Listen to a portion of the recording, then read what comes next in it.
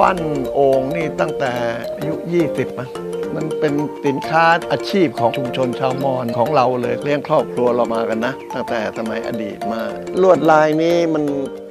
ผมประดิษฐ์กระหนกใส่ขึ้นมา ขอบนี่เราก็ทำเป็นสร้อยล้อมแล้วก็เพิ่มรายละเอียดทำตัวกระหนกให้มันมากๆตัวหน่อย มันก็ดูสวยขึ้นแต่ทีนี้เราก็ต้องมาดัดแปลงเอานะฮะภูมิปัญญาอันนี้สืบทอดมาจนถึงเดี๋ยวนี้ปัจจุบันนี้แหละ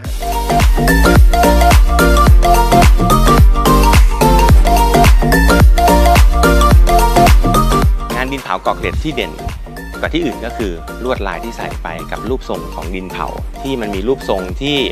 อ่อนช้อยสวยงามนะครับ อย่างเช่น ถ้าเป็นหม้อน้ำไรวิจิตรเนี่ยของเกอกเกร็ดก็คือจะต้องมี 3 ชิ้น มีตัวมีฝา มีขา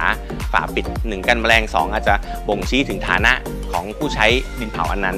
อันนี้คือเอกลักษณ์ที่ในประเทศนี้ไม่มีใครทำอยากเชิญชวนทุกคนนะครับให้มาเที่ยวเกาะเกร็ดเนี่ยมาสัมผัส ความเป็นมอญนะครับ มาสัมผัสสิ่งที่มันมีที่เดียวในโลก ไม่เหมือนที่ไหนในโลกนี้นะครับ มาชมวิถีคนมอญนะมาชิมอาหาร มาเวิร์กช็อป มาปั้นดินนะครับ อาจจะแต่งกายชุดมอญมาด้วยก็ได้นะเรียนเชิญทุกท่านมาสัมผัสที่นี่เลยครับ